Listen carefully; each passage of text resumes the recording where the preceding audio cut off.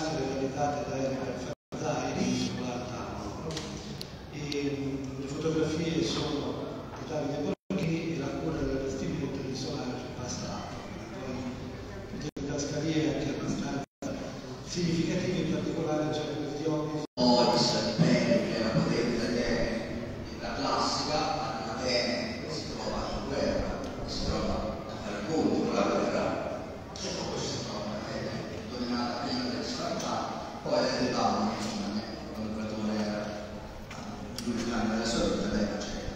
Quindi questa Atene di Platone era attraversata non solo da grandi sconvolgimenti politici, ma anche da fermento culturale e però da manifestazioni molto originali della cultura e del pensiero.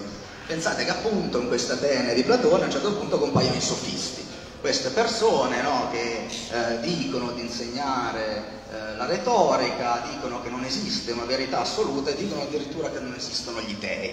E pensate che novità per un greco sentire che non esistono gli dei. Cento anni prima, eh, nell'Atene di Solone, sarebbe stato impensabile che qualcuno andasse a dire in giro gli dei non esistono. Invece nell'Atene di Platone ci sono questi eh, uomini importanti, grandi maestri, studiosi di retorica, che vanno a insegnare in giro appunto che gli dei non esistono. Accanto a questi c'è la manifestazione avversa, se vogliamo, perché come sapete in periodo di crisi il mercato è sempre eh, poliforme, no? Quindi se ci sono quelli che dicono le idee non esistono, no, ci sono invece i santoni, no? Ci sono questi ciarlatani che, di cui Platone parla nella Repubblica definendoli gli orfeo telestai, eh, questi appunto ciarlatani che vanno in giro a vendere l'iniziazione ai misteri. E, ma la vendono proprio su, così su due ore, due ore te mi paghi, io ti inizio i misteri e te eh, in due ore percorri un percorso che in realtà come vedremo ci volevano anni per ricevere l'iniziazione ultima no, dei misteri. Questi invece no, vendevano le iniziazioni così, te stai tranquillo, poi per l'aldilà appunto quando muori sei iniziato, eh, non andrai nell'Ade a morire, a scomparire, ma andrai prati della verità pascolare. Quindi vediamo che questa Atene è una città in crisi, attraversata da questi fermenti e eh, con una classe dirigente, una classe di giovani uomini allo spando, che non sa più chi seguire, se quelli che dicono che gli dei non esistono, se quelli che dicono che gli dei esistono, che tendono l'iniziazione. Ecco, in questa Atene Qui ci sono anche, ci sono sempre stati i misteri di Eleusi. E che cosa sono appunto i misteri di Eleusi? Eleusi è in realtà un demo di Atene, è una piccola città a 40 km. E ancora oggi a Eleusi, se ci andate, potete ammirare le vestigia del Telesterion, ovvero il grande tempio delle iniziazioni, dove appunto si celebravano i riti i misteri di Eleusi. Questo tempio, pensate, è il tempio più grande mai costruito dai greci. È stato costruito all'età di Pericle, ha più di 40 colonne, ha un'area di più di 300 metri quadri. È un, davvero un tempio imponente. Questo testimonia, oltre che la ricchezza di Atene all'età di Pericle, l'importanza che questo luogo e questo culto avevano per la città di Atene e per la cittadinanza L'origine di questi rituali, di questi misteri è molto fumosa, nel senso che sono molto antichi. Nemmeno gli ateniesi sapevano qual era l'origine dei misteri di. Si sapevano solo che erano molto antichi.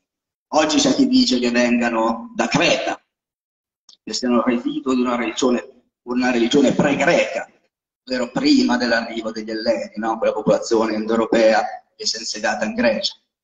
C'è chi dice che vengano dall'Egitto, comunque, insomma. Ah, si sa solo che sono antichissimi. I primi resti archeologici nella zona del santuario tanti, tanti anni fa. Erano già antichi ai tempi di Platone. Ai tempi di Platone i misteri erano i misteri antichi, quello, quello che facevano gli antichi. E ehm, i misteri di Leo si sappiamo che ruotavano attorno a due dee, erano dedicate a due dee che sono Demetra e Persefone, dee della mitologia greca, che mh, sono celebri per un bellissimo racconto che ci riporta Omero, e anche qua ulteriore testimonianza dell'antichità di questa tradizione. Nell'inno a Demetra di Omero, Omero racconta proprio la storia di Demetra e Persefone. Persefone è figlia di Demetra, è questa bella ragazza che un giorno, quando sta vagando nel campo di fiori, tipica scena bucolica della mitologia greca, e quando c'è una scena bucolica sappiamo già che succede qualcosa di spaventoso, appunto la terra si apre, esce fuori Ade, il dio dell'oltretomba, con un carro nero trainato da mille cavalli, greci piace esagerare, mille cavalli, eh? arrivano, prendono Persefone e se la porta con sé nell'oltretomba perché la vuole come sposa. Ade ha deciso, con la compiacenza ovviamente del suo buon fratello Zeus, che Persefone deve essere la sua sposa e così è. Demetra, insomma, che è la madre di Persefone, che è la dea della fertilità, è la dea delle bionde messe di grano, la dea che fa fiorire la terra. Quando scopre di questa improvvisa scomparsa di Persefone non si dà pace e si lancia per tutta la terra a ricercarla incessantemente. Notte e giorno smette di dedicarsi a qualsiasi altra attività vagabonda in tutte le zone della terra alla ricerca della figlia e non la trova. Alla fine, desolata, si ferma ad Eleusi, appunto, questa città, questo tempio di Atene, si ferma su una roccia che ancora oggi è chiamata la Petra Agelastos, la, la roccia triste, e inizia a piangere, un pianto inconsolabile. Um, ovviamente, come sapete, gli dei non si mostrano mai agli uomini, quindi Demetra ha assunto le sembianze di una vecchia. E questa vecchia che piange, insomma, fa, suscita pietà, considerazione in quello che è il re di Eleusi, Celeo, con la sua sposa Netanira, che eh, dicono, ma insomma, facciamo entrare questa povera supplice nella nostra casa e eh, diamogli mh, mm, insomma, ospitalità.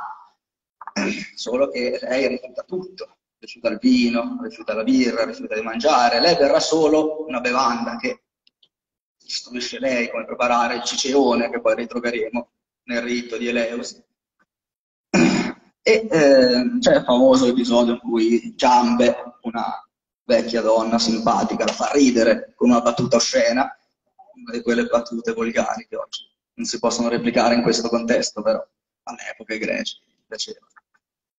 E, quindi ride per un attimo, però e poi torna nel suo lutto, fino a che appunto la regina non va con questo figlioletto Demofonte lo dà a Demetra e dice io oramai sono una donna vecchia, ho avuto questo figlio in tarda età, vorrei che tu lo accudissi, lo crescessi come una balia, no? E Demetra allora insomma, rinvigorita, si inizia a prendere cura di questo bambino. Se non che una sera, appunto, succede una cosa strana, che Metanira vede, eh, mamma di Demofonte, questo bimbo affidato a Demetra, vede in una stanza del fuoco, del fumo, un bagliore, strano bagliore entra e vede suo figlio nel fuoco, dentro un falò. Allora, ovviamente, spaventata, va per salvare il figlio e in quel momento appare Demetra Demetra appare non più come mendicante, come supplice, ma come dea questa volta, quindi tutto il suo splendore, e dice, sciocchi voi umani che non lasciate, non avete fede in quello che fanno gli dei.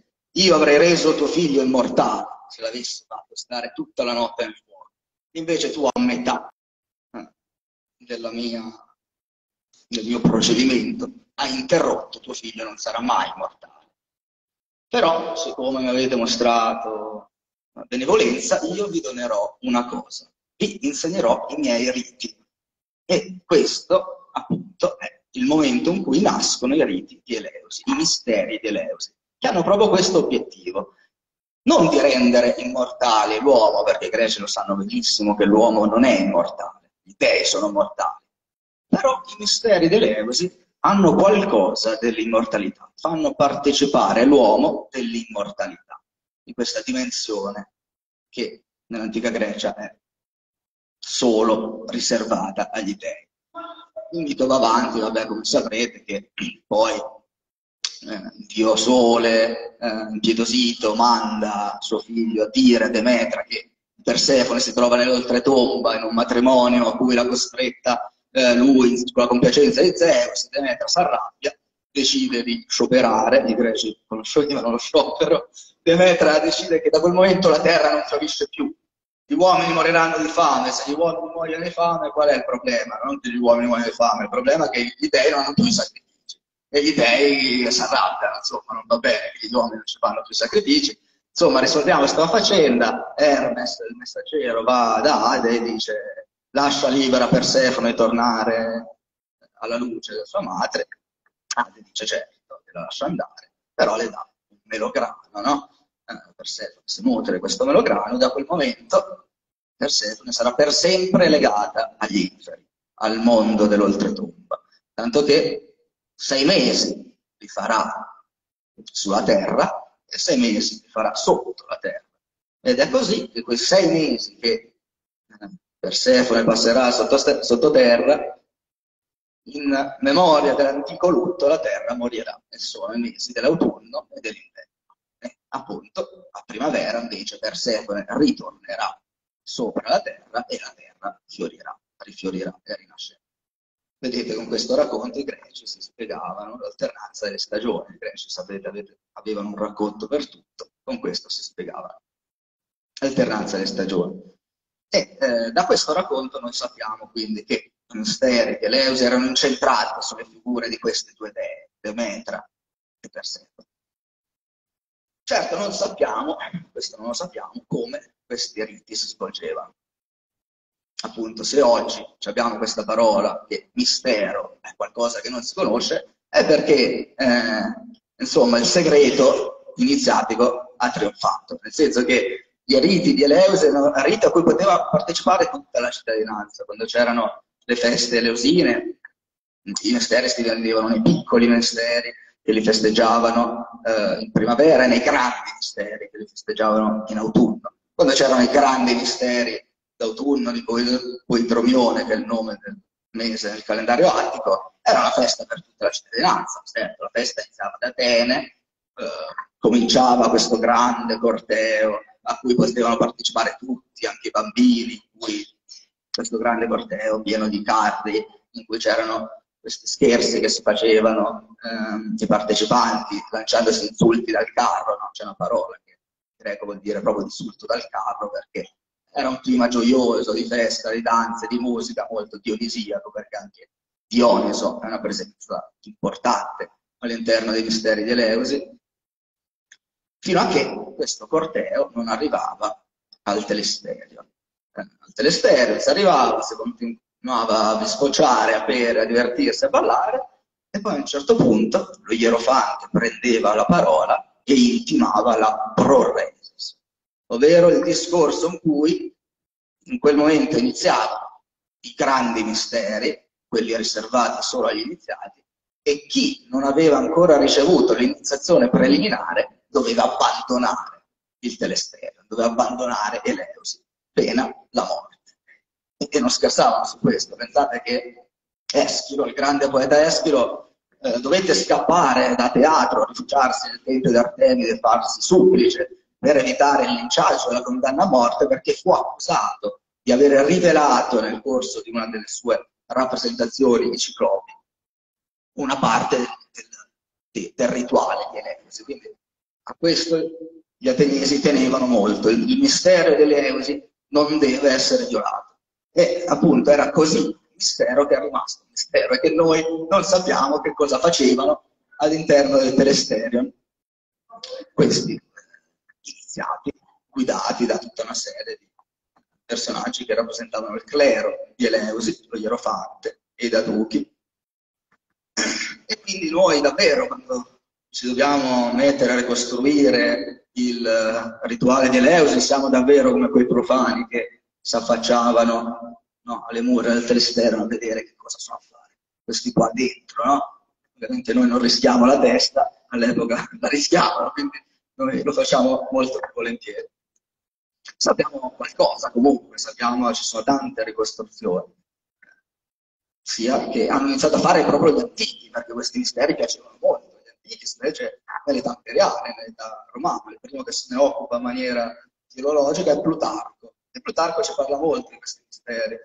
Eh, noi sappiamo solo che ehm, all'interno del Telesterion si facevano questi rituali molto elaborati in cui gli, gli iniziati dovevano entrare in comunione con lo stato d'animo delle due dee, di Demetra e di Persefone, ovvero, ovvero dovevano vivere quello stesso passaggio che Persefone attraversa nel varcare le soglie dell'oltretomba, quindi dovevano vivere la morte, dovevano attraversare la morte per poi rinascere. Ogni iniziato era Persefone, doveva medesimarsi in Persefone, compiere questo, questa discesa, questa, come la chiamano i greci, catabasis, discesa sottoterra per poi risorgere alla luce. Sappiamo quindi che proprio il passaggio dal buio dell'oltretomba alla luce era un momento fondamentale e dopo vedremo perché. Ma altro non sappiamo, certo c'è rimasta qualche formula, c'è rimasta qualche gesto rituale, però non siamo in grado di ricostruire che cosa facessero gli iniziati in quei tre giorni che passavano all'interno del telesterio. Sappiamo che c'era una divisione molto importante fra chi riceveva l'iniziazione ai grandi misteri e chi invece all'epopteia. L'epopteia era il momento culminante, la visione culminante, alla quale bisognava essere preparati per almeno 5 o 7 anni, a seconda delle fonti, però insomma richiedeva un lungo lavoro. Quindi ora che abbiamo parlato, spiegato che cos'erano i misteri dell'Eusi, perché Platone ha Eleusi?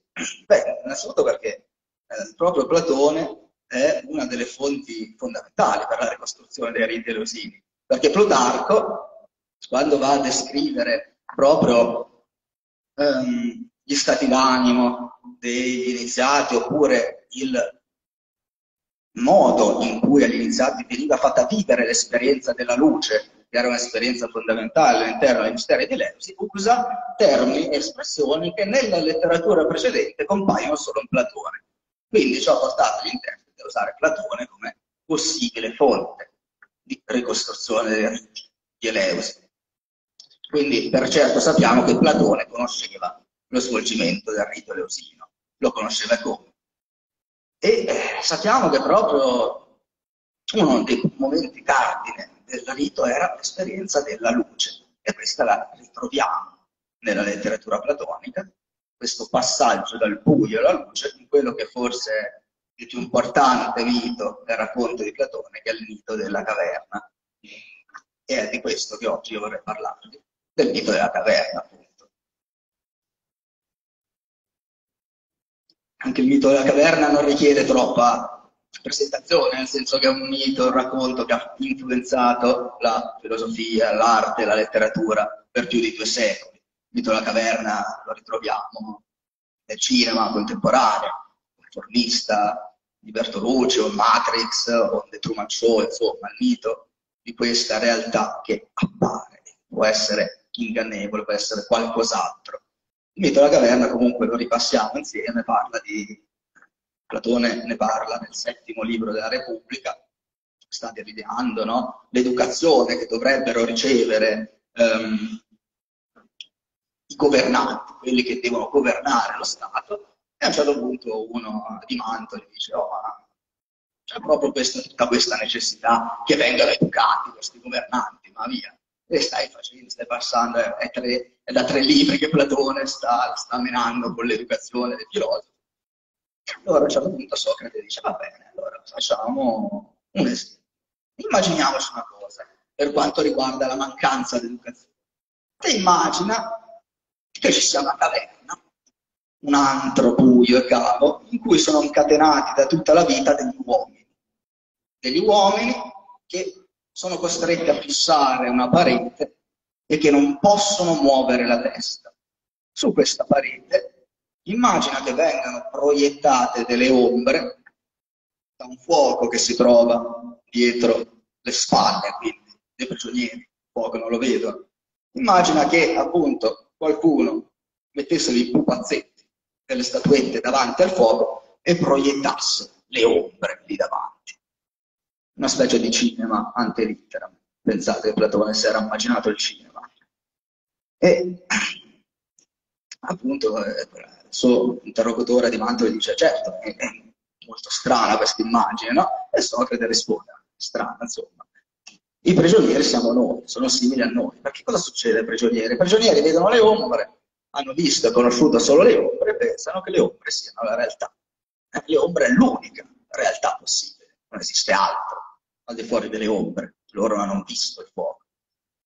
Immagina appunto che un giorno un prigioniero venga liberato, ovviamente contro la sua volontà, che questo prigioniero venga liberato e venga costretto ad uscire dalla caverna. Come si comporterebbe? Ovviamente avrebbe paura, sarebbe spaventato, vede il fuoco, il fuoco gli brucia gli occhi, ha paura, vede questa grande fiamma, non sa che cos'è, vuole ritornare alle sue ombre, che sono tanto familiari, eh, vuole ritornare alle sue catene, e invece no, metti che quest'uomo venga proprio trascinato via dalla caverna, fuori dalla caverna. Fuori dalla caverna cosa vedrebbe? Eh, gli oggetti reali, del mondo reale, questo, questa luce che irradia tutti gli oggetti, che però non è in grado di sostenere, quindi all'inizio partirà da vedere i riflessi, le ombre degli oggetti, e poi però piano piano il suo occhio si abituerà alla luce e il suo occhio prima o poi scorgerà il sole momento in cui scorre il sole, il prigioniero è chiaro tutto. È chiaro che tutta la vita l'ha passata in una caverna, è chiaro che tutti i suoi amici sono prigionieri di un inganno, è chiaro che la realtà di fuori, così bella, così illuminata da questo sole, è molto preferibile alla vita della caverna. Quindi torna indietro, fa per dire agli altri della, della verità, dice guarda fuori c'è il sole, fuori c'è un mondo bellissimo, e gli altri non reagiscono come lui aveva reagito all'inizio. Non gli credono, pensano che è un ciarlatano, anzi si innervosiscono e alla fine lo uccidono. Questo è il mito della caverna. Appunto è un mito che ha tantissime interpretazioni eh, e ha tantissimi riferimenti. Eh, quello che ho fatto io all'interno della mia tesi è che voglio vedere oggi con voi è come tutto questo percorso che eh, porta il prigioniero fuori dalla caverna in realtà è un percorso iniziatico. Platone lo pensa proprio come un percorso iniziatico e come riferimento Platone ha i misteri di Eleusi. Certo, partiamo col dire che l'immagine della caverna, l'immagine del sottosuolo ha molto successo nella tradizione greca ci sono tantissimi riferimenti, no? a partire dall'Odissea, il viaggio di discesa di Ulisse, nell'oltretomba, eh, ci sono storie di uomini che vivono nelle caverne, che si incubano nelle caverne. Pensate Epimenide, un grande sapiente cretese, dicono che abbia passato 12 giorni dentro una caverna, abbia fatto un viaggio astrale. Eh, c'era l'antro di Trofonio, c'era questa zona, questo buco terra, letteralmente, in cui quando un uomo voleva un oracolo da parte del dio Apollo si doveva incubare lì dentro e lì aspettare giorni e giorni fino a che una visione non gli avesse manifestato l'oracolo di Apollo. Quindi, come vedete, l'immaginario della caverna è molto ricco, sia nella letteratura greca che anche però nelle letterature che erano contemporanee a quella greca, anche più antiche, solo che molto distanti dalla Grecia. Pensate che nelle Upanishad si parla della caverna del cuore, il cuore nella tradizione vedica è l'organo che contiene l'Atman, il sé, e si parla dell'Atman imprigionato in questa caverna che ha il compito di risvegliare la sua energia potenziale, la Kundalini, no? l'energia tutta avviluppata nell'interno, ha il compito di risvegliarla tramite che Dio, il Dio Agni, che è il Dio del fuoco. E quindi pensate, anche nelle Upanishad c'è questa immagine di una caverna con il fuoco, oltre alla quale c'è appunto il sole, e il sole nella tradizione vedica è il Brahman, no? l'Atman che si unisce al Brahman è il sé, il sé individuale che si unisce all'anima, è l'anima del mondo, l'Atman che si unisce al principio al di là dell'essere delle cose al di là di questo appunto voglio dire che Platone avesse letto i Veda o conoscesse i Veda, però è sempre interessante vedere come, no? culture così lontane, così diverse, troviamo elementi comuni. Quindi l'immaginario della caverna era molto presente nella cultura greca, era presente anche nei misteri dell'Euse.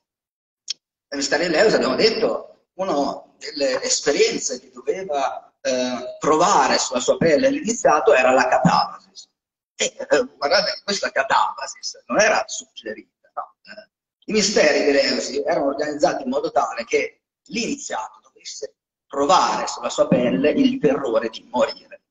Li spaventavano per bene, eh, c'erano anche molti, noi non siamo in grado di ricostruire passo passo il rituale, però molti eh, studiosi autorevoli come Burkert, un grande storico della religione antropologo, ha proprio stabilito che uno dei passaggi fondamentali per l'accesso ai misteri era spaventarsi, era perdere il senso del proprio sé, smarrirsi, effettuare questa catabasis, questa discesa. E ehm, questo smarrimento è lo stesso identico procedimento che prova il nostro prigioniero liberato. Il nostro prigioniero liberato viene appunto intanto liberato a forza, viene liberato da qualcuno, liberato, non si libera da solo.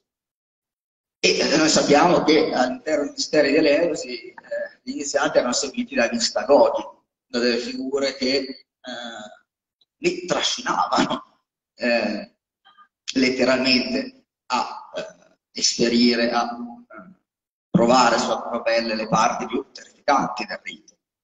Eh, sappiamo quindi che l'iniziato era all'inizio almeno in un atteggiamento passivo, perché c'erano parti e momenti del rito talmente terrificanti, appunto, bisognava attraversare questa perdita del sé, che è sempre un momento in cui si attraversa il terrore, che appunto l'iniziato aveva bisogno di qualcuno, questo mistagogo, che era un tipo che li seguiva passo passo e che li costringeva spesso a fare delle cose. È anche il motivo per cui no, nell'età cristiana questi misteri sono stati tutti svalutati come pratiche barbare, come torture, no? si diceva ai cristiani, no? Tertulliano, vari vescovi dicono, ah, i misteri dell'Euro si torturavano gli iniziati. Certo, lui ci carica molto la mano nel dire queste cose, però di fatto è vero. Eh. Gli iniziati dovevano attraversare momenti di terrore, gli stessi che attraversa il prigioniero liberato, quando si libera dalle eh, catene e viene portato verso la luce. Un altro elemento che appunto però di estrema vicinanza fra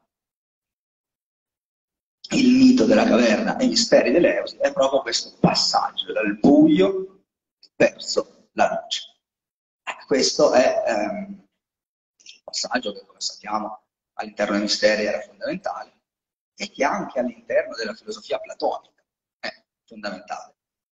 Perché il passaggio dal buio alla luce nella Repubblica significa il passaggio, il progredire verso ovviamente una forma di conoscenza, di chiarezza maggiore, ma è proprio il passaggio da una forma, da uno stato della coscienza ad un altro. Per, fare, per evidenziare questo in Platone è necessario parlare di un altro, di un'altra immagine che lo stesso Platone ci offre nel libro prima, nel libro sesto, che è quello del segmento, della linea. Lui a un certo punto dice di immaginarsi che la mente umana, eh, la conoscenza a cui può arrivare l'uomo, il tipo di conoscenza della mente umana, eh, fosse come un segmento. Un segmento diviso in quattro parti, uno molto piccolo, una parte molto piccola e l'altra parte molto più grande. Lui divide proprio gli stati di coscienza della mente umana in quattro.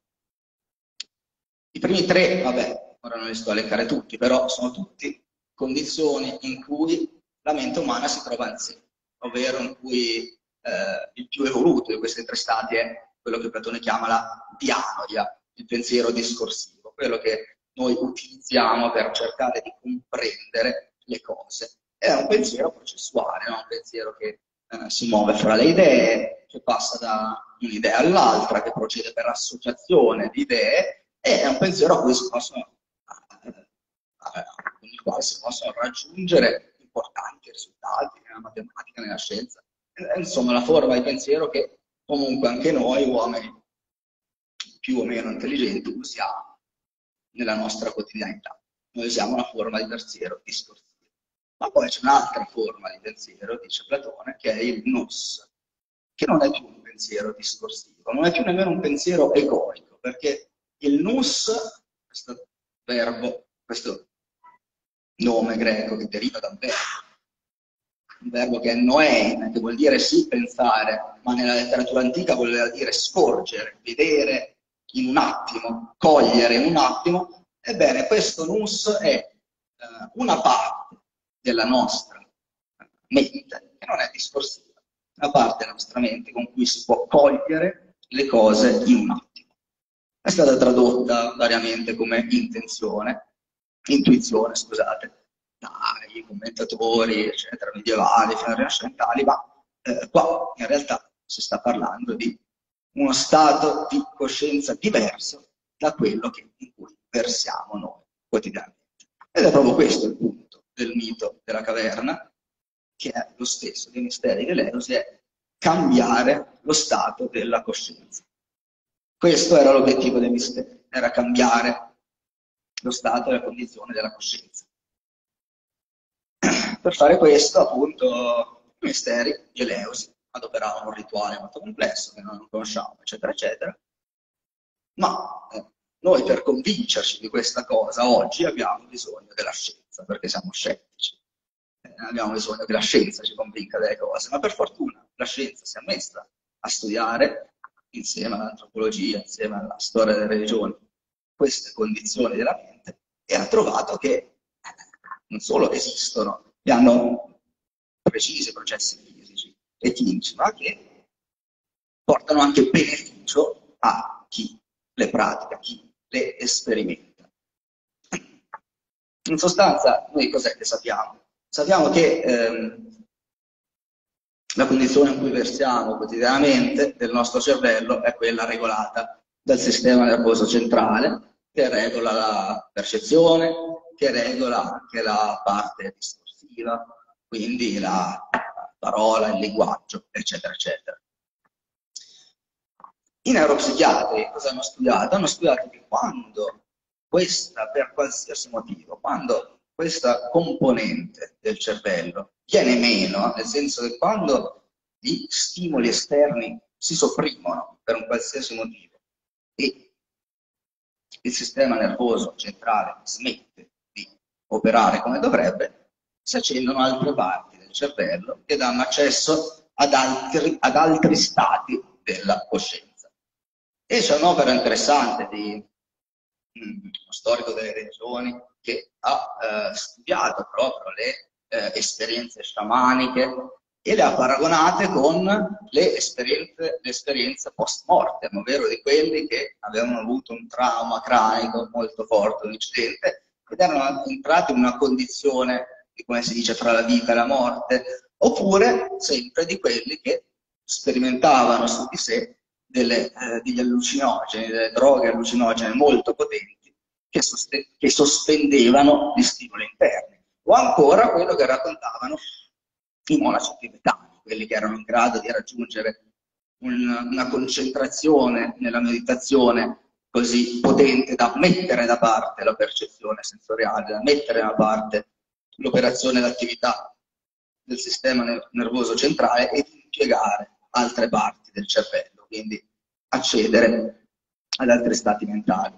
Insomma, lui, questo Richard Grimello, si chiama, ha fatto un collage, diciamo, un confronto fra tutto quello che gli raccontavano queste persone o su quello che aveva studiato no, appunto da, eh, dallo studio degli scari antichi, eh, delle pratiche sciamaniche antiche o delle pratiche misteriche, e ha individuato alcuni punti che fanno da base a tutte le esperienze di questo tipo, all'accesso a questa forma, di, a questo stato della coscienza.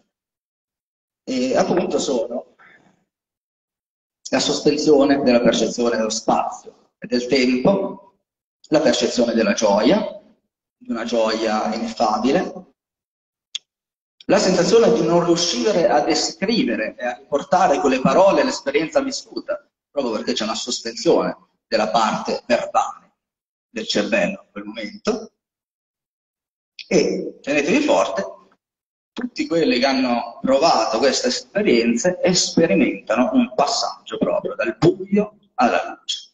In particolar modo quelli che vivono esperienze di post mortem. No? Quante volte abbiamo sentito vedere la luce fuori dal tunnel?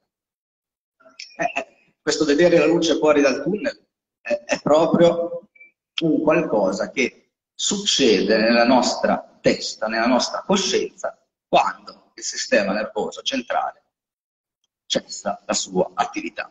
Quelli che appunto sono stati clinicamente, eh, sono stati dichiarati clinicamente morti, hanno sperimentato questo passaggio, ovvero il passaggio attraverso un'esperienza che si chiama quella del mental vortex, quindi anche un passaggio tortuoso, attraverso un tunnel buio, scuro, hanno sperimentato il terrore dello smarrimento e del momento in cui hanno visto la, la propria coscienza fuori dal proprio corpo e poi sono sfociati in una luce, in una zona, in un mondo pieno di luce, in cui hanno provato tutti sensazioni di benessere, di appunto atemporalità, sospensione della spazialità e della temporalità, e ehm, soprattutto di questo contatto con eh, il tutto. Una delle altre cose che tutti testimoniano era questa sensazione che il proprio soggetto, la propria individualità, piano piano svanisse, perdesse, sfumasse i suoi confini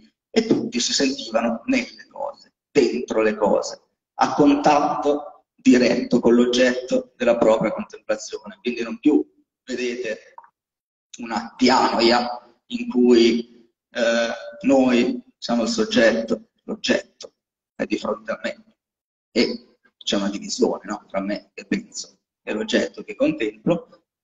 In questo stato, in questa dimensione dell'essere, della coscienza, si sperimenta invece un altro tipo di approccio con l'esterno, ovvero io sono il tutto il tutto sono io.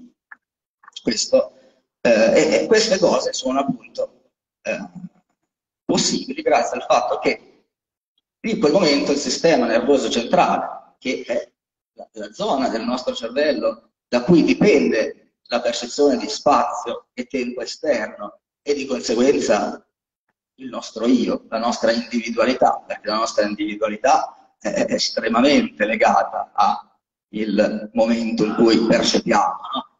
Se io non percepisco quasi non sono, no? smetto di essere smetto di essere io. E appunto quando il sistema nervoso centrale cessa la sua attività o sospende la sua attività, si provano altre cose. E questo è proprio quello che facevano e volevano provare e sperimentare nei misteri di Eleusi.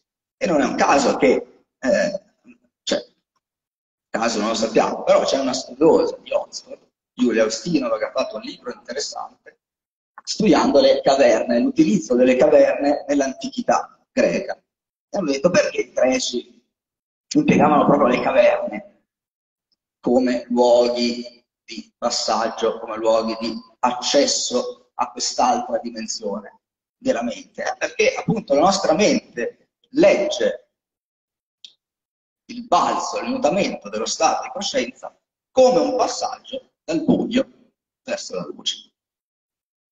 E eh, quello che appunto facevano all'interno dei misteri di Lenzi era questo, era permettere agli iniziati di accedere ad un livello di coscienza altro, diverso da quello in cui si versa quotidianamente. Ed è lo stesso quello che dice, che sostiene Platone nella Repubblica, no? Eh, I filosofi, certo, devono eh, attraverso un percorso di razionalità di studio costante, però devono avere esperienza di quello che è il nus, di quello che è questa parte del nostro essere che è in grado di mettersi in contatto con quello che Platone chiama eh, toagathon nella Repubblica, che è il bene, ma che non sappiamo anche qui bene eh, che cos'è, di che cosa parli.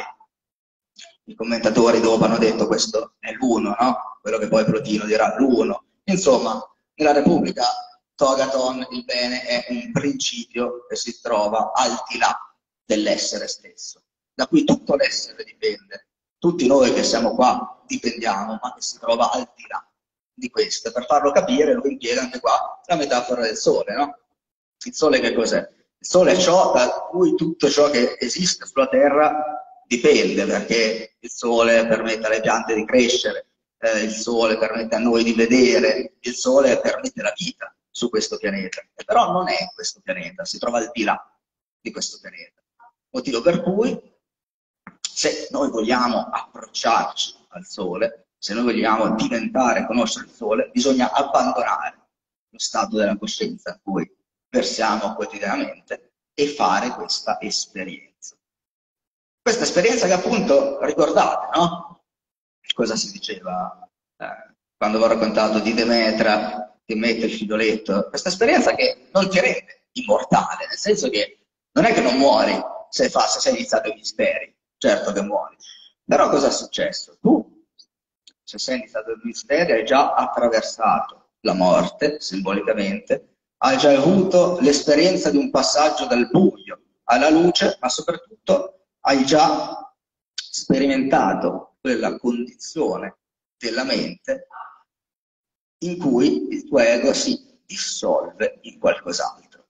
Ed è proprio questo che per i greci è l'immortalità. L'immortalità non è non morire, l'immortalità è quel momento che si apre alla coscienza dell'iniziato, o del filosofo in cui il nostro ego, la nostra mente, per un momento solo, che poi appunto, siccome un attimo atemporale, fuori dal tempo, non è un attimo processuale, non è uno, due, tre, ma è un punto, per un momento solo, l'uomo, la coscienza si trova nelle cose e al di fuori del proprio sé. E questo è il momento dell'immortalità, sia all'interno dei misteri dell'Eus, sia per Platone. E eh, con questa suggestione voglio lasciare.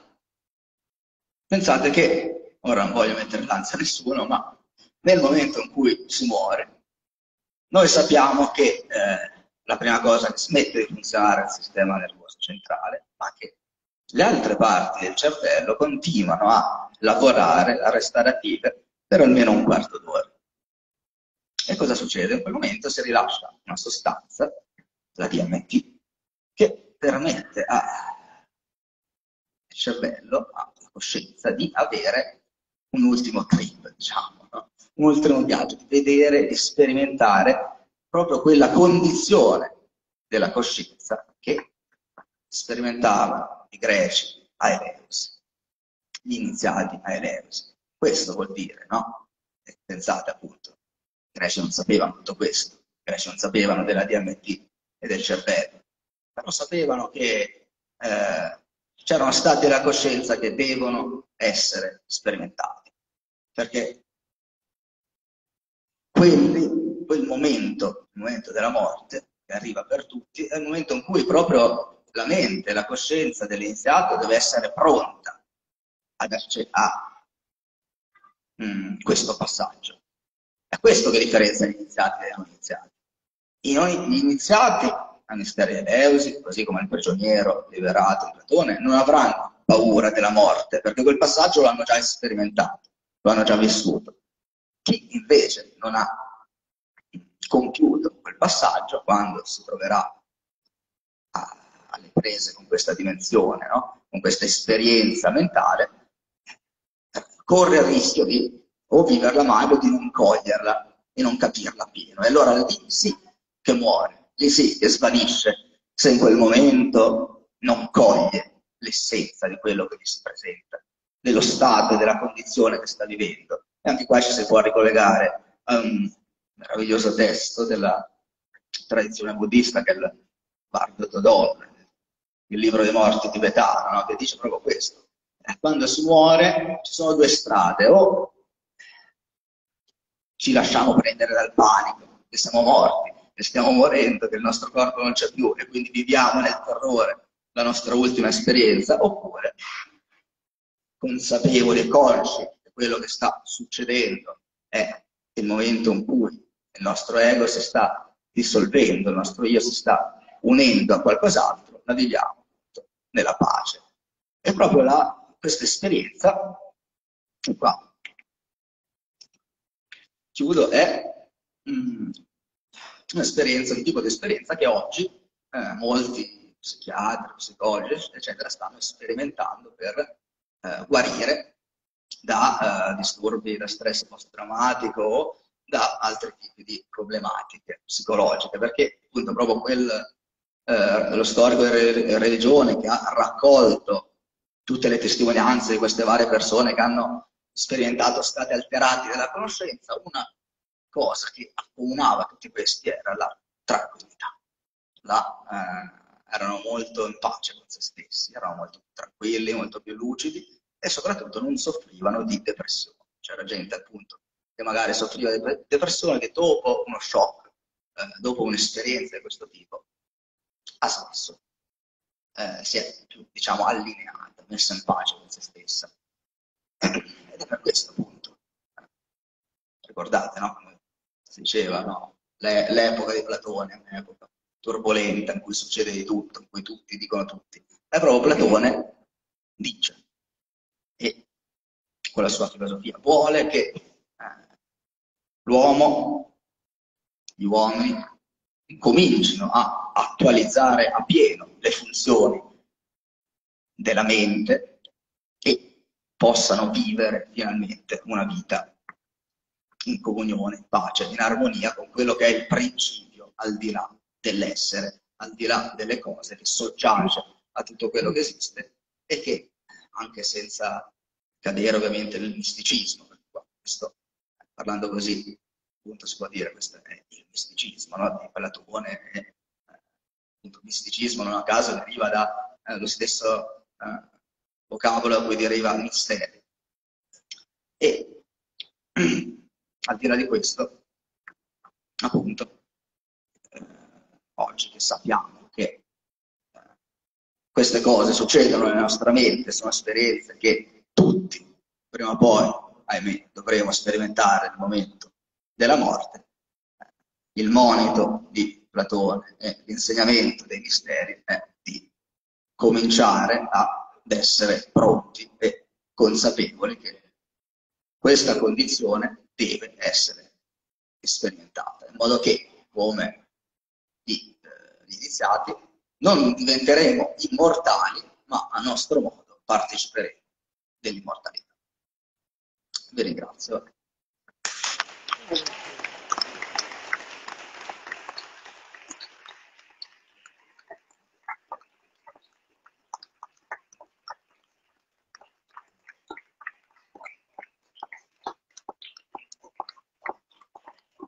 Grazie. Se ci sono delle domande dal pubblico. Qualcuno vuole intervenire, commentare, aggiungere?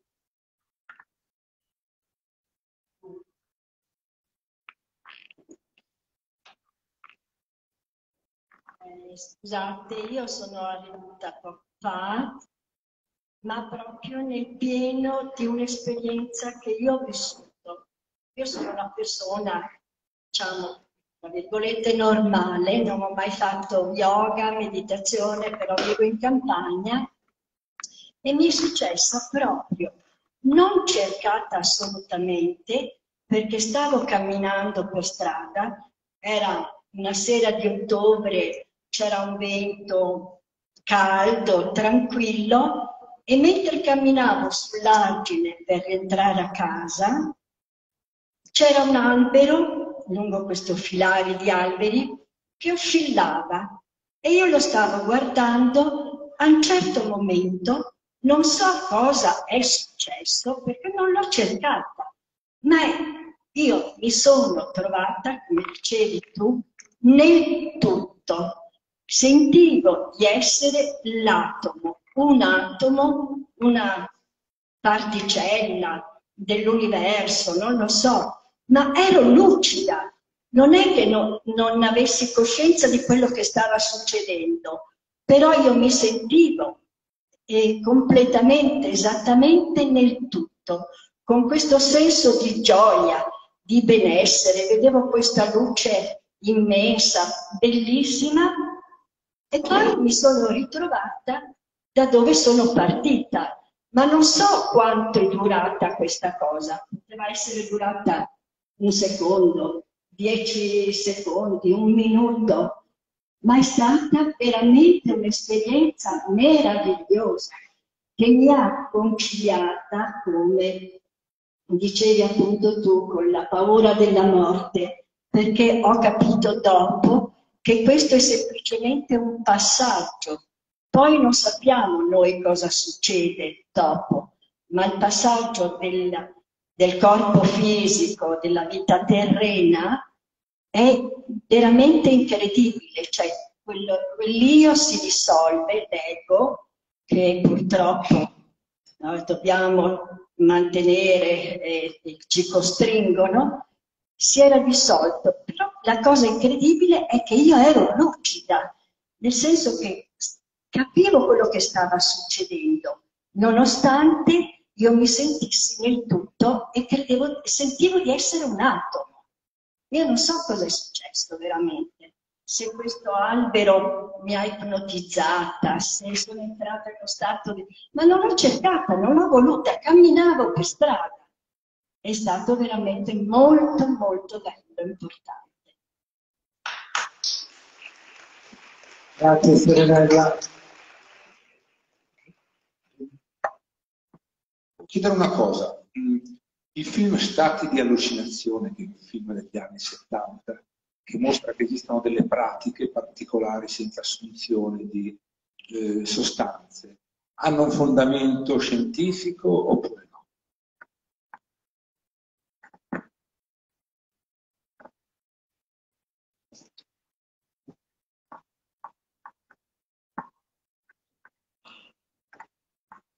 Beh, eh, diciamo che gli psichedelici, le sostanze psichedeliche come, psichedeliche come l'LSD, la mescalina, la psilocibina, sono tutte scorciatoie per raggiungere, per il nostro cervello, per raggiungere quella condizione in cui si verifica no? l'esperienza del contatto con l'altrove, l'esperienza mistica, il viaggio astrale, eccetera. È solo una scorciatoia perché eh, proprio agendo sul sistema nervoso centrale eh, e modificandolo permette questo cambio della percezione che eh, nel caso appunto di piccole dosi si manifesta solo come piccole allucinazioni, nel caso di pesanti no? eh, allucinogeni eh, come potrebbe essere il peyote o quegli allucinogeni che impiegavano no? gli sciamani di una volta, eh, in quel caso appunto sì, si verifica nella mente, nella, nel cervello questa condizione. Diciamo che Sappiamo che questi stati della coscienza sono tutti determinati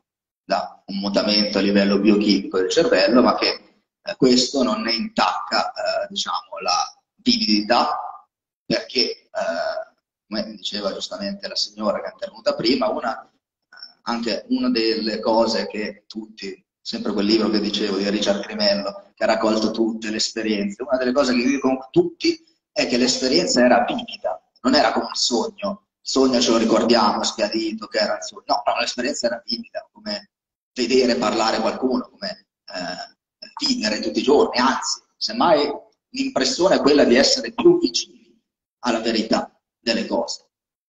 Quindi il fatto che eh, questi stati della coscienza siano determinati eh, da processi fisiologici, eh, beh, non cambia nulla, ha il loro potenziale eh, mistico e anche ontologico, nel senso Empedocle, un altro grande sapiente dell'antichità, era solito dire che eh, questo stato della consapevolezza, no, dell'unione con il tutto, si raggiungeva concentrando le prapides, che era un organo intorno al cuore, no? presente nel sangue intorno al cuore.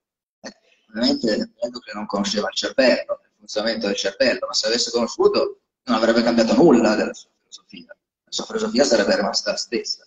E lui avrebbe detto, benissimo, eh, succede nel cervello, succede che i lobi temporali si azionano, eccetera, ok.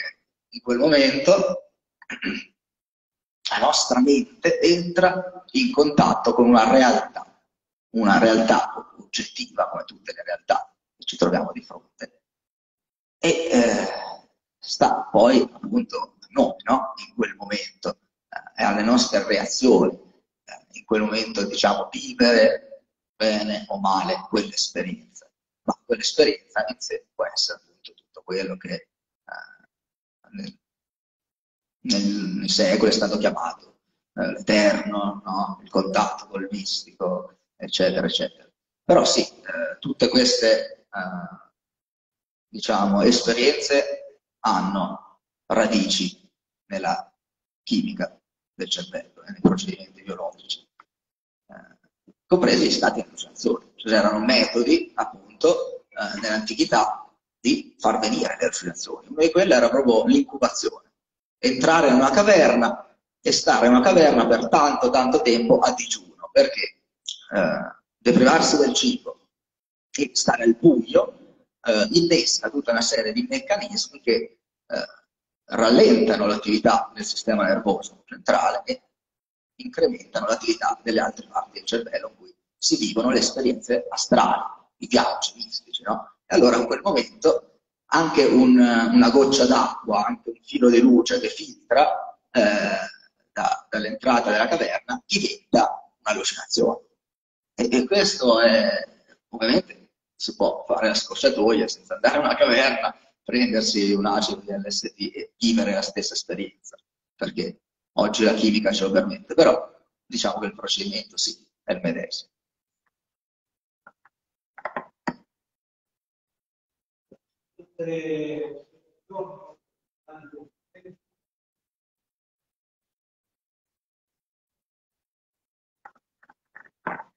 Matteo, ti volevo dire una cosa, ma ci sono altri, diciamo nell'ambito dei, ho visto, ho letto la tesi chiaramente profonda, ma nell'ambito così, degli scritti di Platone ci sono altre tracce anche a livello so, parole, espressioni, come aveva notato anche Giorgio Colli, che sicuramente l'hai visto, eh, che rimandano ai Leusi? Ci puoi dire qualcosa?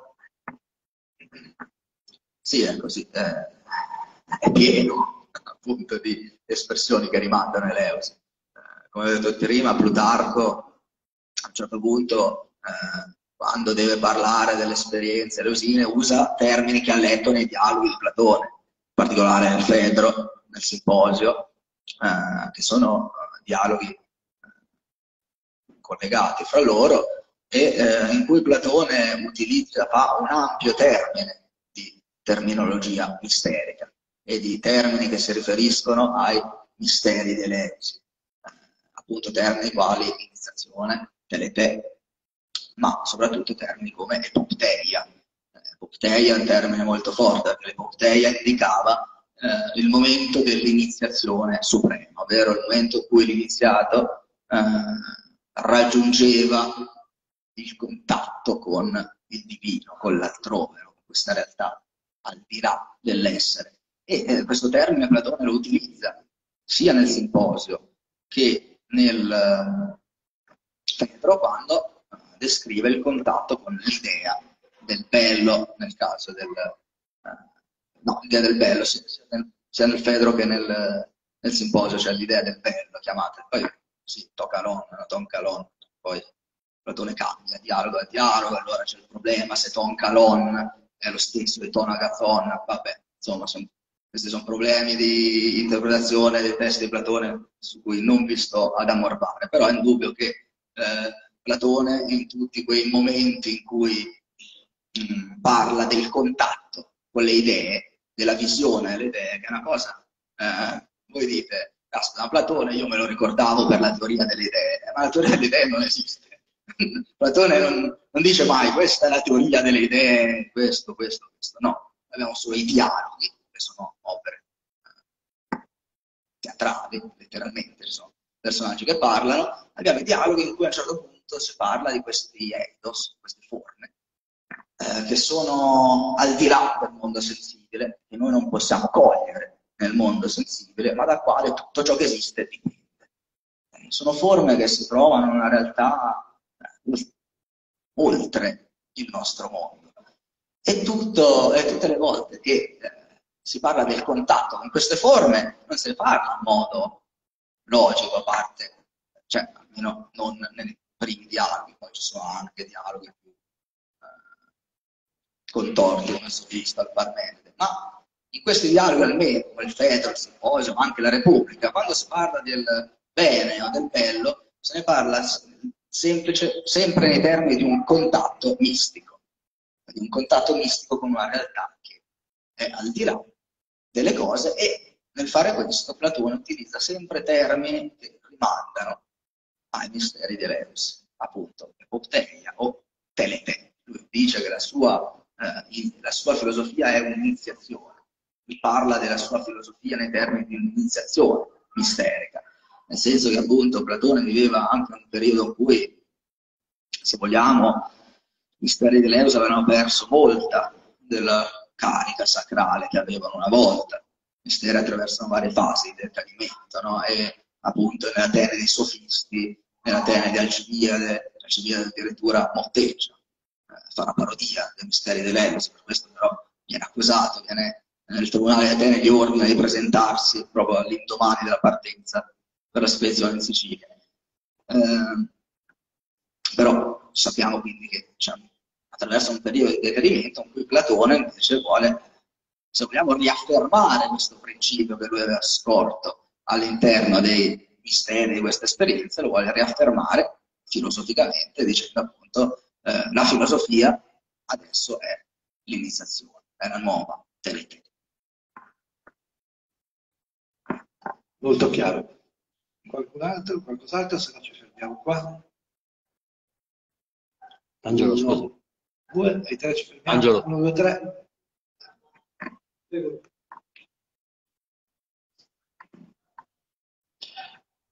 Nell'ambito del, del, degli scritti platonici, noi ritroviamo quella che è un po' anche la dottrina pitagorica delle due vie dell'immortalità.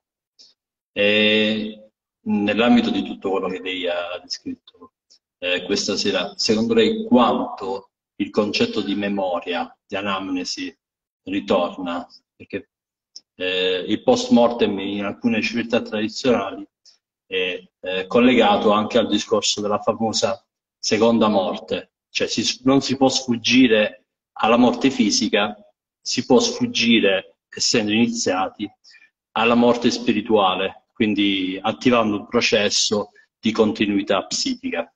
Grazie.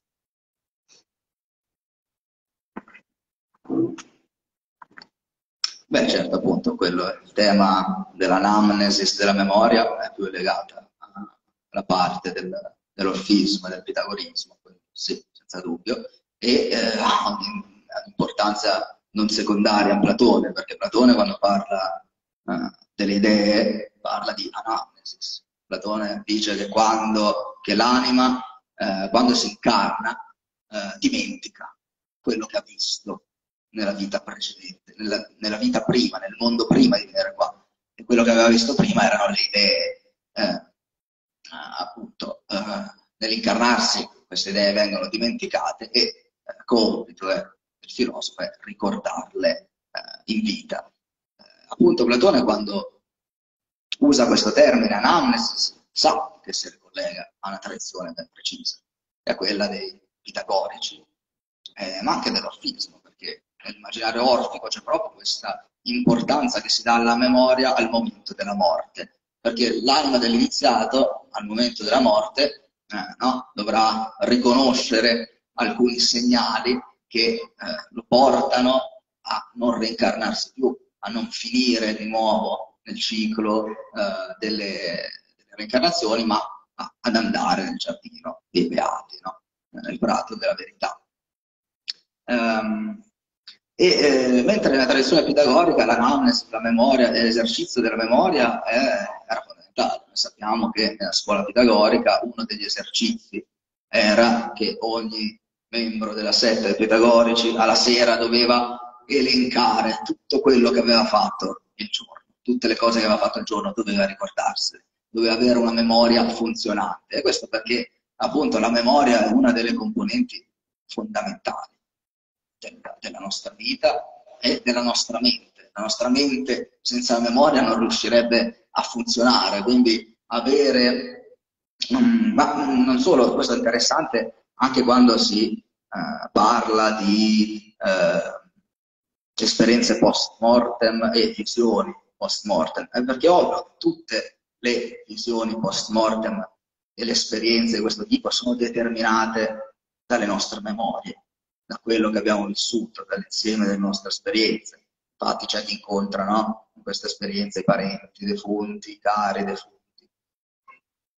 Comunque, com- comunque tutte le esperienze sono determinate dal tempo in cui vive l'individuo che le prova. I greci avevano altre allucinazioni, avevano altri sogni rispetto a noi. In tutto questo la memoria ha un ruolo fondamentale e anche l'esercizio, ovviamente, della memoria ce l'ha, sia in chiave, eh, questo sia in chiave pratica, diciamo, che anche in chiave mistica, no? perché poi lì eh, la memoria è eh, il ricordo di chi siamo, il ricordo del divino, il ricordo dell'uno da cui proveniamo, no? il ricordo da, di quella realtà dal quale proveniamo e al quale dobbiamo ritornare. No? L'anamnesis è proprio questo termine greco che indica ana, indica su, per questo mi piaceva Platone, perché tutti no? ci ricordiamo Platone, una scuola d'Atene che mostra il su. Eh, l'anamnesis è proprio ritornare con la memoria su, nel senso là da dove siamo discesi in questa realtà, in questa espressione multiforme, eppure è derivanza, derivazione da un principio unitario, secondo gli antichi, al quale, bene o male, noi ritorneremo. E eh, oggi appunto la scienza ci aiuta ci dice guardate che eh, sti greci avevano ragione, queste cose nella mente succedono.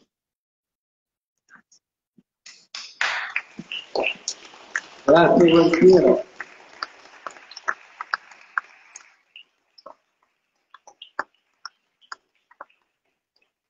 Direi di fermarci qua. Ricordo solo, per esempio, una delle laminette Orfi che inizia Mnemosune Tode Hieron, uh, sepolcro oppure discorso consacrato a Mnemosune, no? che è la memoria, quindi solo per aggiungere. Allora, sono felicissimo di avere concluso la parte greca di Mitos Logos con un giovane che eh, ha fatto veramente una sintesi mirabile di eh, un aspetto fondamentale della, della cultura greca, eh, spesso abbastanza sepolto sotto i luoghi comuni, no? i greci, quelli anche Luciani, ma non solo Luciani, anche gli intellettuali contemporanei, no? sono quelli che hanno paura di morire, si lamentano, no? mi infermo, Omero, e, e, devono quindi vivere intensamente questa specie di vitalismo fondato sul pessimismo. Ma questa è la cultura greca del liceo, questa è la cultura greca esoterica, la cultura greca eh, usata, c'è tutta questa dimensione sapienziale profonda che fa della, eh, delle nostre radici così vicine anche all'Oriente, anche eh, storicamente, eh, ormai è stato acclarato, eh, fa veramente una sorta di sapienza recuperabile e applicabile ai tempi nostri, ognuno ovviamente secondo i suoi modi. Poi grazie anche per questo sguardo psiconautico no? Molto interessante. Bene, grazie Gualtiero, grazie a voi, ci vediamo per.